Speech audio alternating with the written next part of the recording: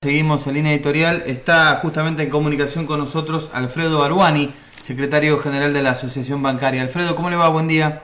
Buenos días, ¿cómo están ustedes?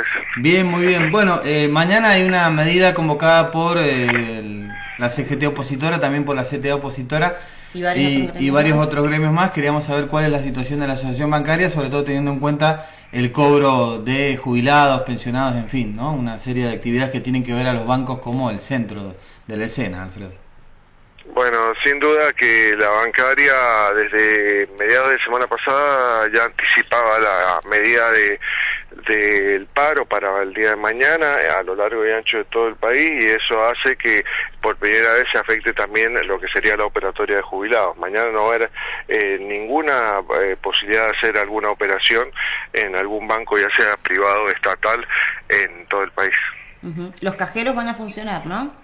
Cajeros automáticos deberán ser provistos por los bancos que tienen la responsabilidad de hacerlo. esperemos que y vamos a, hacer algunas gestiones, por lo menos aquí en Mendoza, para que no haya inconvenientes, teniendo en cuenta que la medida eh, hay que reconocer que es lo suficientemente dura como para que la gente tenga una posibilidad a través de los cajeros de resolver su problema de dinero. ¿no? Y el cronograma de pago para el caso de los jubilados, pensionados, eh, la información es que eh, va a ser hoy. Exacto, ha sido reprogramado para el día de hoy, por lo tanto esto sin lugar a dudas alivia el impacto que se iba a provocar el día de mañana y bueno, y de esa forma eh, los clientes comunes eh, por un lado tratando de resolver en el día de hoy a través de la operatoria normal y mañana con cajeros automáticos y los jubilados y pensionados con la anticipación de un día de, su cronograma, entendemos que podrán tal vez eh, de la mejor manera posible resolver esta situación. Arbani, ¿los empleados de los bancos de qué manera adhieren al paro? ¿Va a ser eh, con asistencia en los lugares de trabajo, movilización, sin asistencia? ¿Cómo, cómo va a ser? El paro mm, determinado a nivel nacional es sin asistencia a los lugares de trabajo. Deja en libertad de acción, por supuesto, a cada seccional con su modalidad. Nosotros estamos manteniendo la misma decisión de, del secretario nacional, pero para nosotros lo más importante es que no haya eh, absolutamente ninguna actividad. Igual nosotros vamos a estar eh, recorriendo la City Mendocina eh, para manifestar y exteriorizar nuestra protesta eh, en las calles de Mendoza. Y en el caso de ustedes, ¿cuáles son los motivos de la movilización? Nosotros tenemos que ver, primero la movilización siempre ha sido una costumbre de la seccional Mendoza, pero además hay un, punto eh, que se agrega a este, a este paro nacional que, es, que tiene tres ejes donde todos los gremios convergen en cuanto a lo que significa el impuesto a las ganancias, lo que significa que se pague la asignación por hijo a todos los trabajadores sin distinción de lo que cobra uno, de lo que cobra el otro.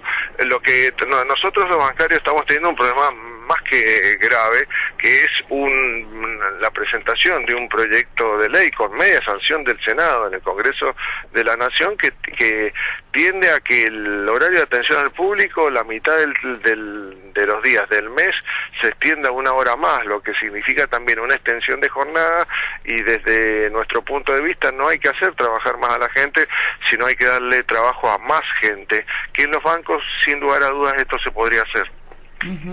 Ese proyecto dice tiene media sanción. Sí, sí, sí, todo ha sido casi tratado de una manera, lamentamos, lamentamos que ni siquiera de cara a la sociedad y, menos de cara a la organización gremial que nuclea a los trabajadores bancarios. Entonces, realmente parecería que está hecho más a medida del sector patronal, que sin lugar a dudas eh, tenemos que tener controlado permanentemente por su permanente intención de no estar reconociendo la jornada de trabajo, de no pagar las horas extras y parece que eh, alguien ha sido funcional a esta mm, eh, intención patronal que viene desde hace tiempo y habíamos logrado por lo menos en, grandes trazos detener y al contrario estábamos en una situación de que ellos estaban teniendo que pagar lo que correspondía ¿no? ¿De cuánto es hoy la jornada laboral de un empleado bancario acá en Mendoza? La jornada laboral en Mendoza y en todo el país es de 7 horas 30 y el horario de atención al público es de 5 horas. Eso es lo que eh, lo que está normado para todo el país. Inclusive existe una ley provincial que ratifica que ratifica esa situación. Y este proyecto extendería a una hora más. A una hora Este, más, la- la seis horas de atención al público. Lo que hace inviable la jornada de 7 horas 30, porque no hay manera después técnicamente, por todos los procesos que hay, una vez que se cierra el horario de atención al público, de mantener la jornada de 7 horas 30, ¿me entiende? Entonces esto, esto trae un efecto dominó directamente ni más ni menos que sobre nuestra jornada completa de trabajo. Y esto es lo que llama poderosamente la atención con qué liviandad y sin rigor científico, llamémosle, de estudio y de análisis, a ver si los bancos, ustedes también lo deben sufrir como cualquier ciudadano común, ponen el recurso humano que hace falta para que la gente sea bien atendida y además pueda ser atendida eh, en el horario que con cinco horas debería alcanzar. ¿Y cuál es el sueldo mínimo de un bancario con esta jornada laboral? el sueldo que le llamamos conformado, que incluye desde el básico hasta, todo, hasta todos los ítems que habitualmente se cobran de manera permanente, alcanza 7.220 pesos para el, el bancario que recién ingresa.